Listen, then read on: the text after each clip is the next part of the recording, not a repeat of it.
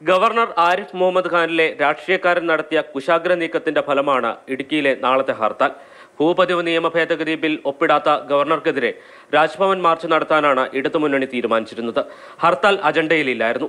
ഇടുക്കിയിൽ നിന്നും ഇടതുമുന്നണി പ്രവർത്തകർ തിരുവനന്തപുരത്തേക്ക് വണ്ടി കയറുമ്പോൾ താൻ ഇടുക്കിയിൽ ഇടുക്കിയിലുണ്ടാകുമെന്ന് തീരുമാനിച്ചത് ഗവർണറാണ്. കഴിഞ്ഞ നവംബർ മാസത്തിലാണ് വ്യാപാരി വ്യവസായി ഏകോപന സമിതി ഗവർണറുടെ സമയം ചോദിച്ച് രാജ്ഭവനെ സമീപിക്കുന്നത്.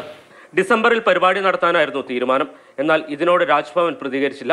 ജനുവരി രണ്ടാം തീയതി രാജ്ഭവനിൽ നിന്നും ഒൻപതാം തീയതി നിശ്ചയിച്ച വിളിയെത്തി. ഇതോടെ ഇടതുമുന്നണിയാണ് വെട്ടിലായത്.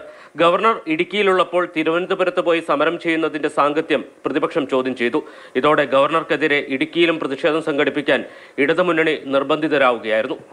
ഇടതുമുന്നണിയുടെ ആവശ്യപ്രകാരം തീയതി മാറ്റി നൽകണമെന്നാവശ്യപ്പെട്ട് വ്യാപാരി വ്യവസായി ഏകോപന സമിതി രാജ്ഭവനെ സമീപിച്ചെങ്കിലും അവർ വഴങ്ങിയില്ല. എം എം മണി അടക്കമുള്ളവരുടെ വിമർശനവും ഹർത്താലും പ്രഖ്യാപിച്ചതോടെ വ്യാപാരി വ്യവസായി ഏകോപന സമിതിയും അവരുടെ നിലപാടിൽ ഉറച്ചുനിന്നു ഞങ്ങളെ സംബന്ധിച്ചിടത്തോളം ഈ പരിപാടി നടത്തിയെടുക്കുക എന്നത് പ്രധാനപ്പെട്ടതാണ്. ഞങ്ങൾക്ക് ഇടതുപക്ഷ ജനാധിപത്യ മുന്നണിയോട് അഭ്യർത്ഥിക്കാനുള്ളത് ഈ ഹർത്താലിൽ നിന്നും അവർ പിന്മാറണം എന്നാണ്. ഞങ്ങളോട് എന്തിനാണ് അവർക്ക് വിദ്വേഷം? രാവിലെ പതിനൊന്ന് മുപ്പതിന് തൊടുപുഴയിലെ മർച്ചന്റ് ട്രസ്റ്റ് ഹാളിലാണ് മരണപ്പെടുന്ന അംഗങ്ങളുടെ കുടുംബത്തിന് അഞ്ച് ലക്ഷം രൂപ ധനസഹായം നൽകുന്ന പദ്ധതിയുടെ ഉദ്ഘാടനം നടക്കുന്നത്. പരിപാടിക്കെത്തുന്ന ഗവർണറെ കരിങ്കൊടി കാണിക്കുമെന്ന് എസ് എഫ് ഐ പ്രഖ്യാപിച്ചിട്ടുണ്ട്. ഡിവൈഎഫ്ഐ സി പി എം പ്രവർത്തകരുടെ പ്രതിഷേധത്തിനും സാധ്യതയുണ്ട്. മാതൃഭൂമി ന്യൂസ് ഇടുക്കി.